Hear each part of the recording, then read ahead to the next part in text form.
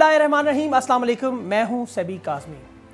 नाजीन हमारे बदनीत सियासतदान और नाख्वानदा सहाफ़ी माजरत के साथ, जब हुकूमत को नाकाम साबित करने के लिए मीशत के अशरिय इस्तेमाल करते हैं तो बाज़ अवत ऐसी गुफ्तु करते हैं कि अकल दंग रह जाती है। सलीम साफ़ी साहब, मेरे बड़े अच्छे दोस्त, एक प्रोग्राम में भी हुकूमत की नाकामी का एक पैमाना बता रहे थे। वो कहते हैं जीडीपी ग्रोथ जो है, वो अफ़गानिस्तान से भी कम है। आपने जलसों में पीडीएम के अक्सर रहनुमाओं से भी ये बात सुनी कि पाकिस्तान की अफ़गान करेंसी की जो कदर है, वो पाकिस्तानी करेंसी से ज़्यादा है। एक डॉलर सत्तर अफगानी और 160 पाकिस्तानी रुपए के बराबर है। इसलिए हुकूमत मुआशी मैदान में नाकाम है। ये कहते हैं जी कि 2019 में जापान की जीडीपी की ग्रोथ जो है, वो 0.67 और जर्मनी की 0.6 है। और इसके बरक्स अगर आप अफ़गानिस्तान की जीडीपी देखें तो 3.9 फ़ीसद मतलब इतनी ज़्यादा। तो क्या हम उससे ये नतीजा निकालें कि अफ़गानिस्तान इस वक्त जापान और जर्मनी जर्मनी की मीशत से बेहतर है? इस लिहाज से तो पाकिस्तान की मीशत भी जापान और जर्मनी से बेहतर हुई क्योंकि 2019 में पाकिस्तान की जो जीडीपी ग्रोथ है वो पॉइंट नाइन नाइन फ़ीसद थी। अभी ये आपको अक्सर ये ये बातें सुनने को मिलती हैं और इसकी बड़ी एक मखसूस वजह है लेकिन आज के प्रोग्राम में मैं, मैं कोशिश करूँगा कि पाकिस्तान की मीशत में जो 2021 में आने वाले दिनों में हमें मुआशी मैदान में कामयाबियाँ हैं और जो बेहतरियाँ हैं, खुशखबरियाँ हैं, वो मैं आपको बताऊँ, ताकि आपको ये जितने भी मफरूज़े और जितने भी ये लोग आपको गलत गाइड करते हैं, जिनका मीशत से कोई तल्लक नहीं होता, जिन्हें इसका कोई अंदाज़ा नहीं होता, मैं एक मीशत का स्टूडेंट होने के नाते आपको कुछ आदाद शुमार बताता हूँ।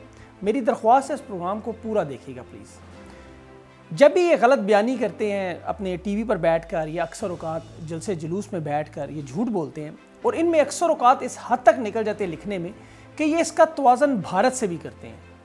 अब मैं आपको भारत ही अगर शरह नो, शरह नमू अगर बताऊँ 2020 में तो वो पाँच इशारिया चार फ़ीसद थी। पाकिस्तान की ज़ीरो पॉइंट फाइव इशारिया पाँच।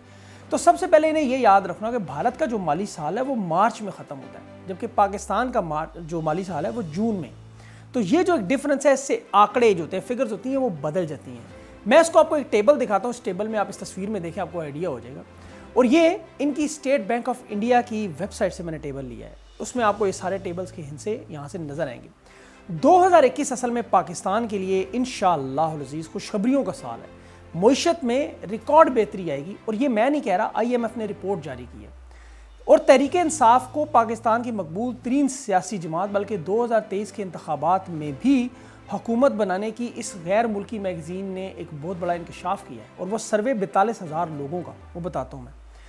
अब आपको पता है, दोबारा ठीक करने में मीशत को और इससे जो हालात हमारे अभी रिसेंटली 2020 में, सारी दुनिया को पता है कि इसमें हालात कैसे थे, किस तरह माली खसारे थे, फिर हमें किस तरह ज़र मुबादला में, महँगी बिजली में गैस का बहरान था। ये सब हमारे जो पिछली हुकूमतों के, उन्हीं दानश्वरों के कारनामे थे जो आपको अक्सर ये बातें बताते हैं।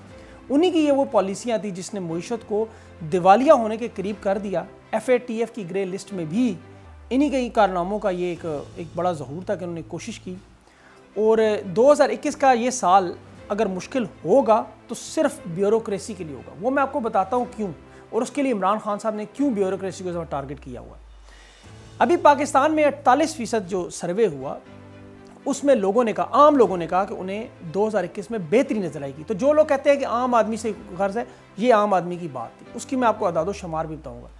लेकिन ये अदाद शुमार जो आपको आम आदमी को दाल, चीनी, आटा, रोटी और इस तरह की जो चीज़ों पर नज़र आते हैं, इनमें आपको याद रखना होगा कि इन लोगों को जो अपोजिशन है, उनको भी डेढ़ करोड़ से ज़्यादा वोट पड़ा। तो उनके भी जो हमायती हैं, कुछ लोग जो खुश नहीं होते तो वो अपना ज़ाती एजेंडा उसको मीडिया पर उस तरह पुटरे करके कि जी देखे, बड़े अफसोस बड़े हालात ख़राब हैं, वो करने की कोशिश करते लेकिन 2021 में पाकिस्तान की मीशत में बेहतरी की जो वो रिपोर्ट आई है, उसकी बड़ी वजह क्या है?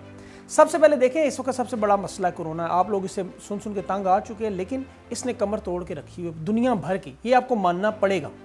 और मीशत मरहला वार बेहतरी होगी।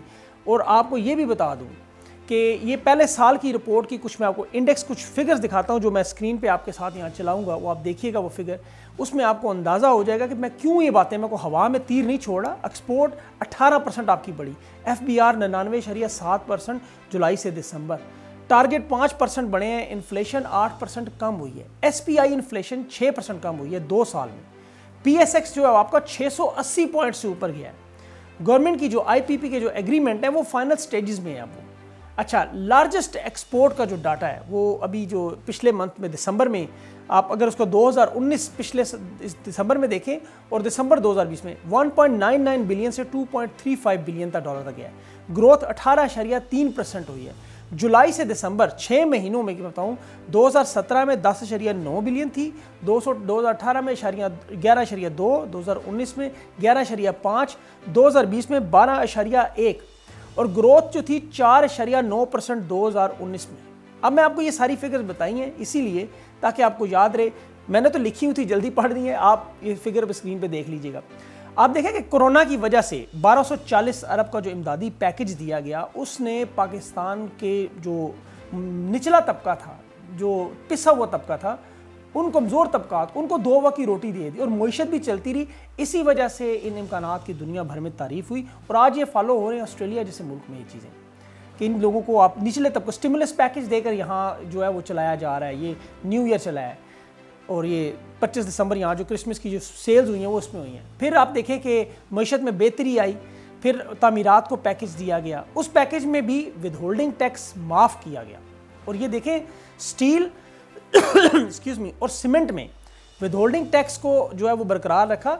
अब तमीरत के शोबे से मतलब जितनी भी चीज़ें उन पर टैक्स माफ़ हुआ, वो सारी चीज़ें इसमें ऐड हो जाती हैं। ये वैल्यू एडेड चीज़ें होती हैं, जिससे और चीज़ें भी साथ उठती हैं।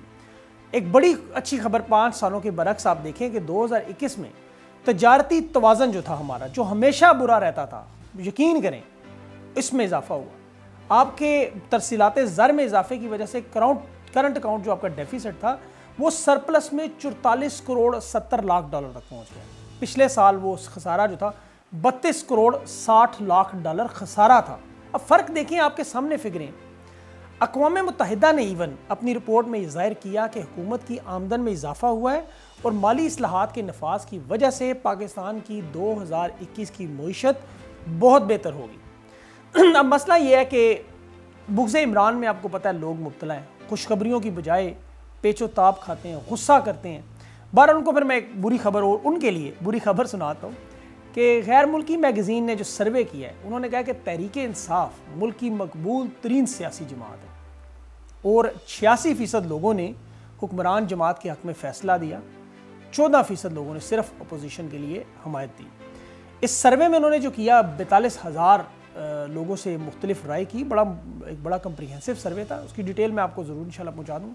छियासी फ़ीसद लोगों ने इसलिए भरोसा किया कि आम इंतबात में मौजूदा हुक्मरान जमात ही इनकी चॉइस होगी और सात फ़ीसद लोगों ने नून लीग को और चार फ़ीसद ने पीपल्स पार्टी को। दो फ़ीसद ने सिर्फ़ जे यू आई एफ़ को वोट देगा तो अब 2021 में जो बड़ी चीज़ें होंगी इन उसमें एक तो सियाहत बड़ी अरूज पे होगी। अगर ये कोरोना के मसले ठीक होते जाएँगे तो। सिक्योरिटी के साल से महफूज तरीन साल इन गुजरेगा ये। और आप देखेंगे कि नए होटल्स जो बन रहे हैं सियाती मुकामों पर मुकाम पर वो इन बड़े आगे जो इंटरनेशनल ब्लॉगर्स और वो जो टूर करने वाले लोग हैं, वो बड़े मुतमिन हैं। उसमें मेरे आपने प्रोग्राम देखे होंगे, मेरे चैनल पे पड़े हुए हैं।